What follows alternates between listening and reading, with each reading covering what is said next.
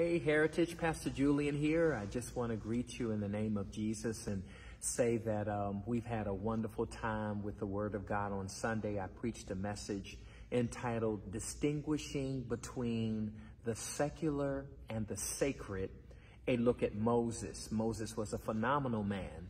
And uh, I wish I had the wherewithal to unpack some more of those principles with you. But on this coming Wednesday, we will suspend our normal Bible study because we're in the middle of vacation Bible school.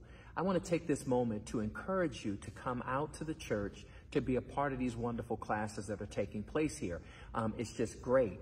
Um, this idea, though, of distinguishing between the secular and the sacred is important for everyone who wants to be a follower of God.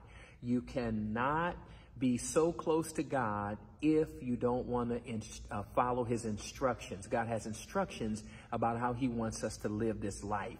And so, um, with that said, I just want to invite your attention back over there to Exodus chapter 3. Read through that and you'll see that Moses had a journey and he made it. Well, on this coming Sunday, I'm praying about um, another installment um, toward this idea of distinguishing between the secular and the sacred.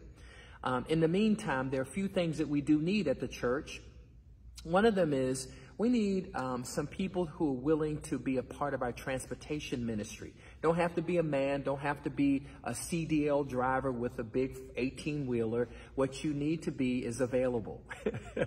It's a funny way to say that, but if you're available, we have some older members and a few um, members who are struggling a little bit but need transportation to get to church. They want to worship with us, and we want to do everything we can to make that available to them. So if you will call the office to say, hey, look, I'm, I'm interested in that. That's the one thing I can do. I'll give a Sunday out of the month to make myself available. We would love to have you to be a part of that. And um, on August the 6th, I'm calling all men August the 6th, we're going to just have a breakfast and a table talk. That's what I want to talk to you about. Just some table talk, man to man, um, to see where we are in our journey with God and, um, and to walk this out in a way that will be pleasing in His sight.